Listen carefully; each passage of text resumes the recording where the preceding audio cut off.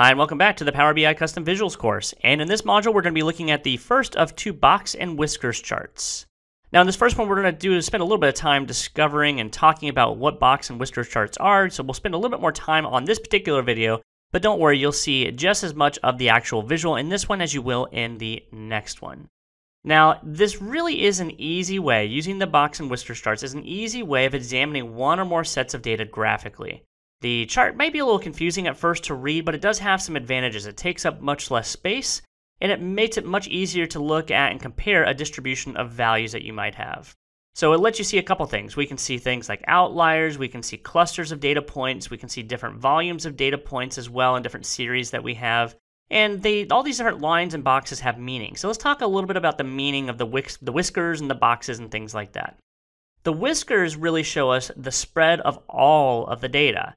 The ends of the whiskers, the top end and the bottom end, show the upper and lower extremes of values. Okay, so in the example that we see here, where we see different types of classes, we see English, math, physics, and these different types of classes. Physics, for example, has a lower extreme or a min of 46. Okay, so you can do something like assume these are points or a number of answers they got correct on a test. Not necessarily a percentage, but number of correct answers, maybe perhaps. All right, so we got a min of 46. That's the lower extreme. The upper extreme here is 63. So the maximum value here is 63.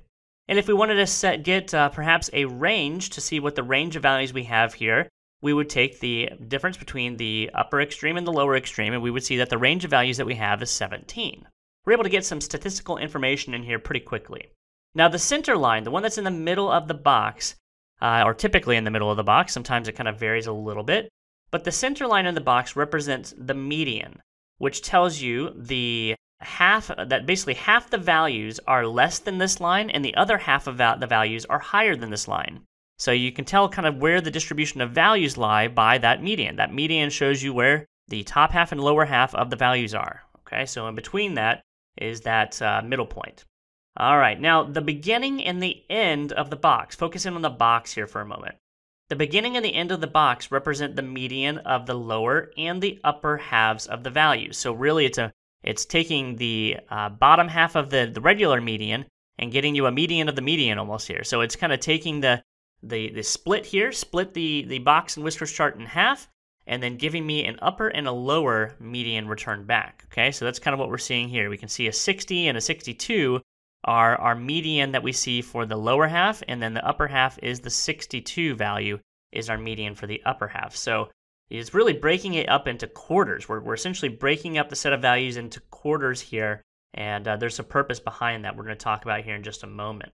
Now, the beginning and the end of the box represents the median, like we said, but essentially we're splitting it into four sections, or they call them quartiles.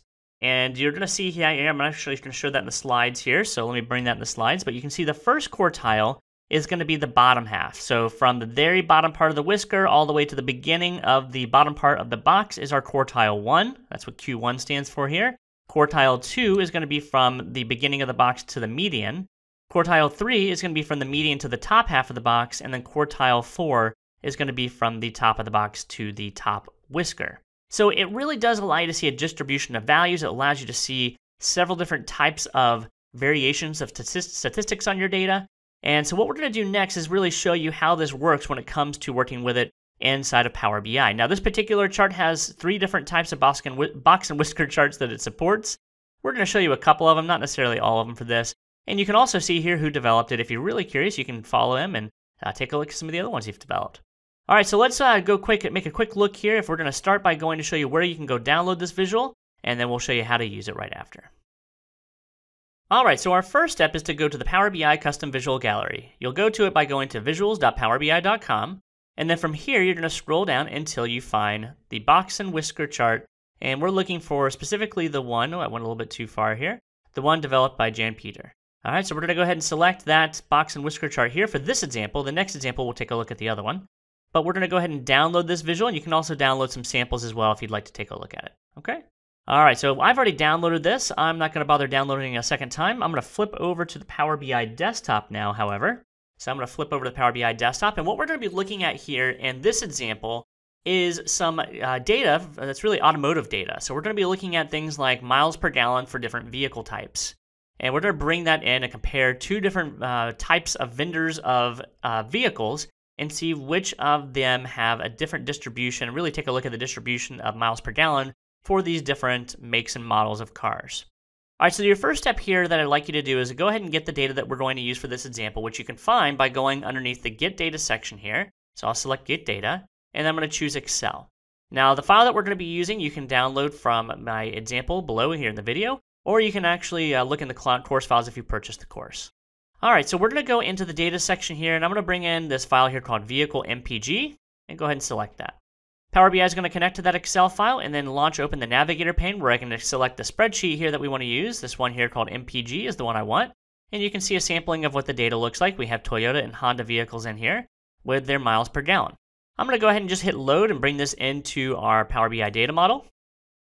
All right, give that a second to go ahead and pull in. And then once we do, we're going to go import in our Box and Whiskers uh, custom visual. Okay, so we're going to go ahead and go over to the visualization pane here and tell it that we want to import from file and tell it to import a custom visual. Go ahead and hit import again, just letting you know you're importing from a third party.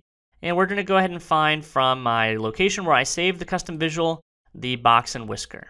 All right, so I'll select that custom visual, hit open, and it'll bring it into my visualization pane here now, like so. Now, if we want to use this visual, by the way, I'll go ahead and bring this in here as a table so you can see what the data looks like here first before we go jumping into uh, viewing it in the box and whisker. So let me go ahead and bring this in, make the text a little bit larger so you can see it, like so. And I'll stick that over here so we can use that as a reference later. Now, I would like to go ahead and bring this into the, the visuals as a, as a box and whisker. So I'm going to select the box and whisker visual. I'll go ahead and make this a little larger. Okay. And then what we're going to do is we have three different types of fields that we can place in here. You have a category, which basically is going to give you a different category of uh, the box and whisker, okay? So meaning we're going to have two box and whiskers show up here, one for Honda, one for Toyota. That's the category that we're working with here. The sampling will, will place in there each instance of our value here, which in our case is going to be the model, so that'll be our sampling. And then the values that we're trying to analyze here is MPG. So really, you can just kind of click your way down each of these. I can click on make, model, and MPG, and we should get a box and whisker that's built out for us automatically. You're looking at on the left hand side, you're seeing Honda. On the right hand side, you're seeing Toyota. But let's talk a little bit about what we're seeing here. Now, the great news is you can actually hover above any one of these box and whiskers, either one here, and you'll actually see all the statistics being returned back here. You can see that we have a sampling of uh, seven samples of Honda, seven samples of Toyota. Okay. We can see what the min and the max are. So the min and the max is represented by the top of the whisker and the bottom of the whisker. Okay. We're also seeing the median, which is the middle line that we see to, towards the middle of the box. Okay. And then we're seeing the quartile one and quartile three. That's telling you the uh, bottom section here between the whisker and the beginning of the box, and then the above the top uh, line of the box and the top whisker. That's quartile three is actually going to be right here. This is quartile four. So it's kind of giving you an idea of what those are and where the locations are. It's also telling you what the average is. Now, if you're wondering what relevance the average has here, that's actually the dot. So the little dot that you see here, that's represented by the average. Remember, median and average are two different things. Median being the middle point of the data, and average being kind of taking a total average of all the results that we have. All right, so that's a view of how you can use the box and whisker. Let's take a look at some of the ways you can customize this if you'd like. To customize the box and whisker, we can go over to the Format Paintbrush on the right-hand side. And you'll see there's a couple different options that we have available to us. One, you can turn on data labels, so check that out. You can turn on the data labels that we were looking at just a moment ago. So data labels you can turn on. You can also increase the text size of those data labels if you wanted to. I'm going to go ahead and leave them off because it uh, has the tooltip there anyways. So data labels are a nice feature you can turn on. The privacy section doesn't really have anything here. This is just the version of the tool, so nothing really to do there. The grid lines you might want to turn on or off, so you can turn off the grid lines if you don't want to see grid lines on here. That might be fine because you have, again, the, the tooltip here to kind of give you an idea of what's being shown. If you like the grid lines, however, you can turn in the, on the thickness. If you want to see a thicker grid line in there, you can do that. You can also change the color of the grid line, so if you don't like the color, you want to switch it up, you can change that there. And then you have the minor grid lines as well, so you can have the ability there turned off by default, but you can turn on the minor grid lines if you want. You can see it has even more points of data in here, or any more reference points, I should say. Uh, just like you can with the uh, major uh, grid lines, you can also change the color of the minor grid line if you want. All right, I'm going to reset this to default. I think the grid lines were fine as they were just a moment ago, so I'll leave that alone. You can also change like the text that you see on the different axes. So right now I'm play playing with the y-axis and I'm actually changing the text size. So you can see it increases the text size on the left here on my graph to be able to read it a little bit larger. And I'll do the same on the x-axis as well, so you'll be able to see Honda and Toyota a little bit larger if I go ahead and bump up the text size on that. All right, good deal. That looks pretty good. I like that. Uh, you'll find underneath the data colors, if you want, you can actually change the data colors that are being used for each box and whisker here. So if I wanted to, I can change Honda to, uh, I don't know, something like red. I can change Toyota to something like uh, yellow if I wanted to, just for the sake of changing the colors. You can. Maybe you want to align them better with their brands. You can certainly do that if you wanted. I'll leave those colors as is. And then finally, that last section here to cover is the chart options. Now, the chart options have a few things that are kind of interesting here. Let me make this a little larger to read here. Um, you can affect things like the chart margin, so the uh, size or the amount of uh, space that it's taking up. Right now it's set to medium. Notice what happens when I change it to large. It actually shrinks it down a little bit, so it uh, makes it have a larger margin. You can also give it a small margin, which means it's going to take up a larger space. So that's up to you. I kind of like the small, uh, uh, the large margin, I mean, to narrow down the chart a little bit. Okay, it's, it's representing the same amount of data, it's just kind of giving it a larger margin, taking up less space here. So I can shrink this down a little bit more even if I wanted to. All right, you can also turn on or off outliers. So right now, outliers are turned off. If I turn them on, in this case, it actually doesn't detect any outliers. If it did detect outliers, it would show them in another colored dot here.